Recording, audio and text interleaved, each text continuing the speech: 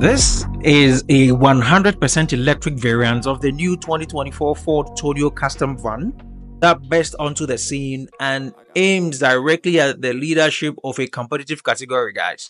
A category in which it will have to face such important rivals as the Citroen e-Space Tourer, the Peugeot e-Traveler, and the Toyota Proace Verso electric vans. But then, somewhere last year, we got the all new Tourneo van in diesel, gasoline, and hybrid models that I reviewed here extensively on the channel. You can actually use the link on my top left corner to access that if you would be interested in that. Today, I bring you the 100% electric 2024 Ford Tourneo custom model, looking at its performance, the battery, the range details, as well as the price differences but I will also conveniently and briefly establish the model differences by the end of the episode for you. So stay tuned. And on this note, I welcome you to Autostop Car Reviews once again, guys. Now, at this point, let's get down to the business of being here. And this is all going to be about the new Ford e-Tourneo Custom that we have received. And guys, beyond equipment, which is a determining factor when it comes to purchasing a vehicle. The truth is that we all focus on the propulsion systems as well. It is only but a logical move, especially when this is a purely electric 100% van, which I call the E-van. Unfortunately, guys, there is no option in this regard. The heart of this new e-Tourneo custom E-van is a 64 kilowatt lithium ion battery, and this battery has a main objective of powering 160 kilowatts. That should translate to about 218 horsepower electric motor in this case. So that is the only propulsion system you get on this EV. Is a bit of a letdown, but you know, is a variant on the diesel, the gasoline, and then the hybrid model. So it should do. If you want something more, you may have to look at other models. The power that is developed here by the electric motor is sent to the rear axle.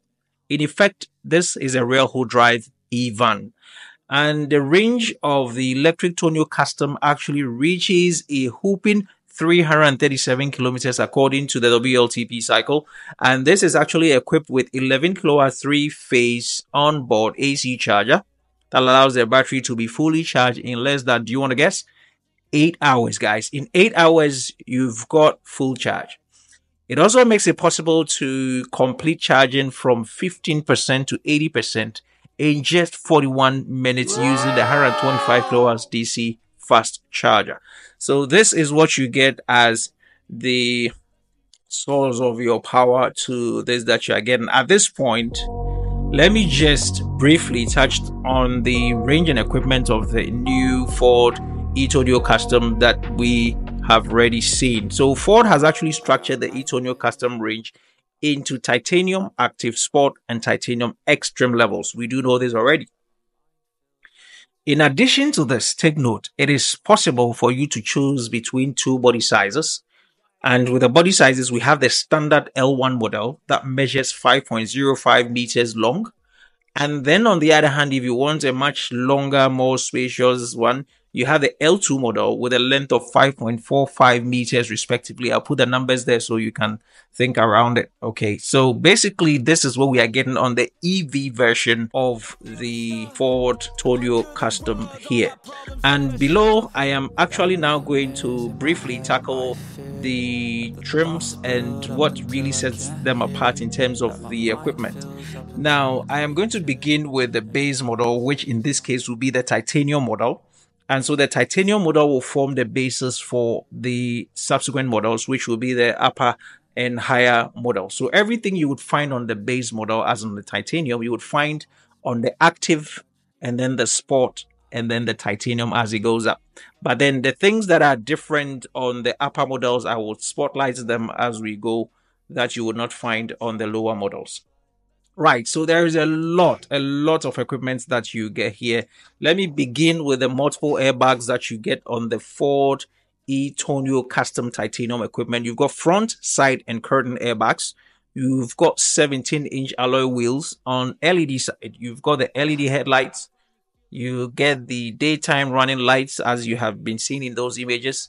You've got the LED rear lights. You get fog lights. You've you are getting automatic lighting and rain sensing, and you are also enjoying electrically adjustable folding and heated exterior rear view mirrors. You've got infotainment system with touchscreen, but a much smaller one, which also supports Android Auto and Apple CarPlay with USB connections, Bluetooth, and digital radio. You've got it. Air condition is obvious, and front electric windows, of course. Heated front seats, height adjustable driver's seat is there. And then take note of this. You've got a three row seating that is a two plus three plus three making eight in terms of the seating arrangement on the custom titanium model. You are also getting the front center armrest and fabric upholstery in this particular one. And then also you get to enjoy multi-functioning steering wheel adjustable in height and depth and front rear and parking front rear parking sensors You've got rear view mirror, central locking with remotes. You've got keyless system. So if you're interested in that, that's something you are going to get. And then you've got adaptive cruise control and speed limiter, lane change warning, hill start assist in terms of safety, and tire pressure monitoring system. But then you also get to enjoy the e-call emergency call system also on the base model. So this is where the base model ends and then the active model picks up. And so everything you're going to find on the base model, you would find on the next on the level, which is the custom active model. But you would not find the things that I'm going to spotlight here on the titanium model.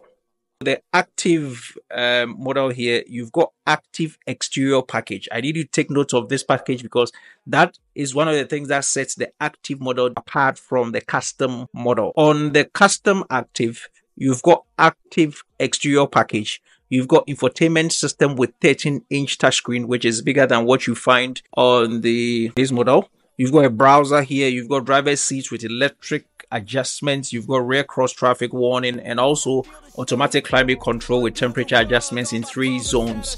These are what sets the active apart from the titanium. But then let me quickly spotlight the two things that sets the sport model apart from the active and the titanium. And that is that the sport has a sport exterior package. Yes, you see that sport exterior package, which makes it sporty. And then the sport has a multifunctional steering wheel covered in synthetic leather.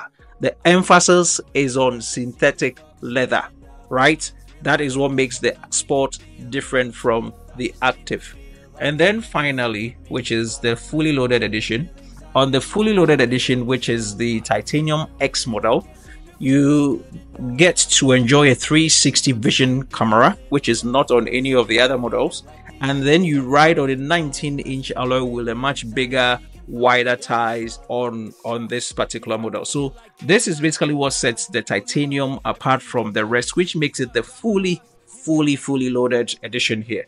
As I wrap, I would move on to talk about price but if you want more intensive breakdown of these trims, I have done an intensive video. You can use the link on my top left corner. But then at this point, let's look at pricing and I'm going to launch this price in Europe. So as you can see here, this is how it stands. Now this starts from this amount of price and gets to that.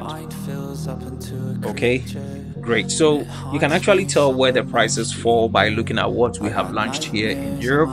And this is minus all other things. That is the manufacturer suggested retail price at this point in time. This is what we go for you for now. Thank you so much. Have a good, great day until we meet same time again.